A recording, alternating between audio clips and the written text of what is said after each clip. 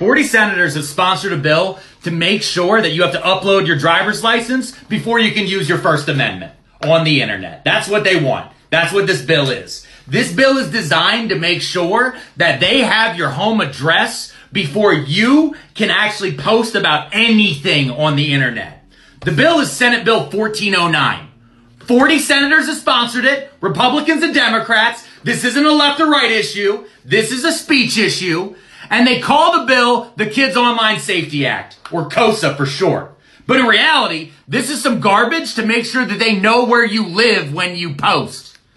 This bill, they claim is to protect kids from restricted material on the internet. But what it's going to do is it's going to restrict the internet for everybody and then make you prove you're over 18 before you can look about anything. So maybe there's some history of America that is a little bit dicey, right? Maybe you want to learn a little bit more about the Second Amendment.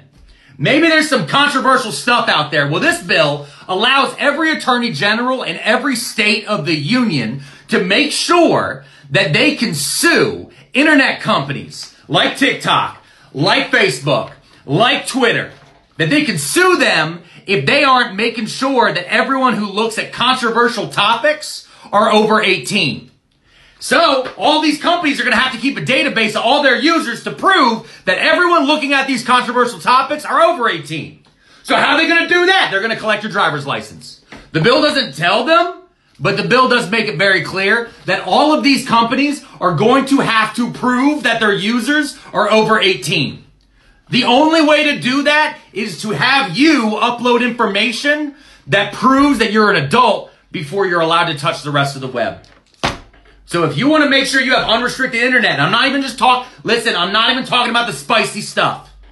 I'm talking about if you wanted to go and find out gun safety information, if you wanted to find out maybe medication information, if you wanted to go find out some history that they don't want to teach you in schools, this bill will allow attorney generals to sue all of these companies under the guise of protecting kids. Senate Bill 1409.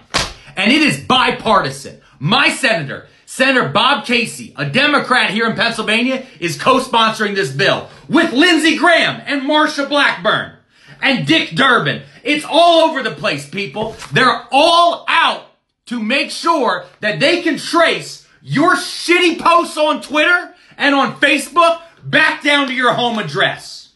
And they're doing it claiming they're protecting the kids. So call your senators. Does not matter where you live. Call your fucking senator and say, I do not want Senate Bill 1409 to ever be touched or passed.